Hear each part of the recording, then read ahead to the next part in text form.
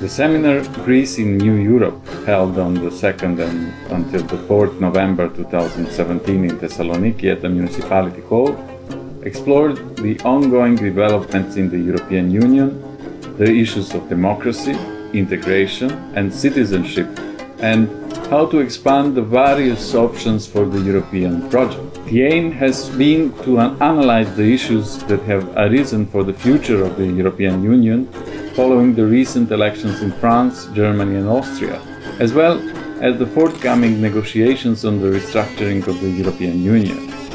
About 25 participants investigated the following questions Why do we need a common Europe?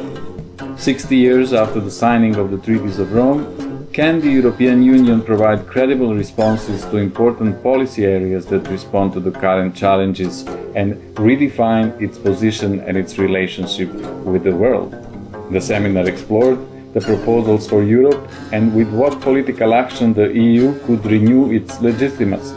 In addition, it focused on a number of important areas of EU integration trying to identify the problems that have arisen, the links to be covered, and the ways of responding to the EU and the Member States. Greece's role and position in these developments was also explored. Speakers of the thematic sessions included academics and policymakers. The cooperation with the Department of Political Sciences of Aristotle University led to the co-organizing the conference of the Towards of Europe of Multi-Speed challenges and impacts for the EU and Greece, maximizing the effect of the seminar. The Fora Athens Lab on Unpacking Integration was organized by Symbiosis School of Political Studies on 15 to 17 December 2017 in cooperation with the municipalities of Athens and Thessaloniki and a range of civil society organizations. The lab focused on innovative approaches and sustainable ideas around the core integration priorities housing, education, work, and civic participation.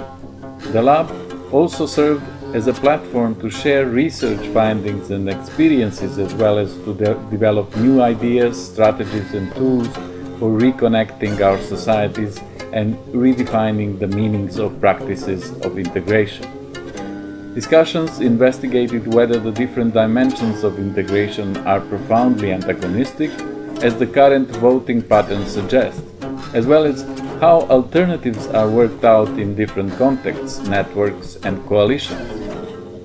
The lab involved around 40 participants from about 30 civil society and migrants and refugees organizations, representatives from Ombudsperson's office, international NGOs, and municipalities departments coming from three cities namely Athens, Thessaloniki, and Kilkis. Gender balance was achieved both in the composition of the participants as well as in the panel's representations and the participation in the discussions. Migrants and refugees were themselves highly involved and often set the topics of the unfolding conversation. The format of the event, the first day at the Impact Hub, a venue designed for, to foster communication and innovative encounters, including a day of plenary sessions, yet with ample discussion time and an hour over lunch to further network and exchange views.